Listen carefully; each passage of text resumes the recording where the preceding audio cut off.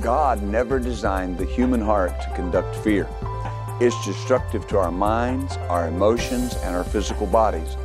The Lord has chosen a fear free life for us where His love governs. On the next episode of Faith Builders, let's learn how to live fear free. Watch your Faith Builders program on Monday at 9:30 a.m. or 11 p.m. You can also watch online at vtntv.com.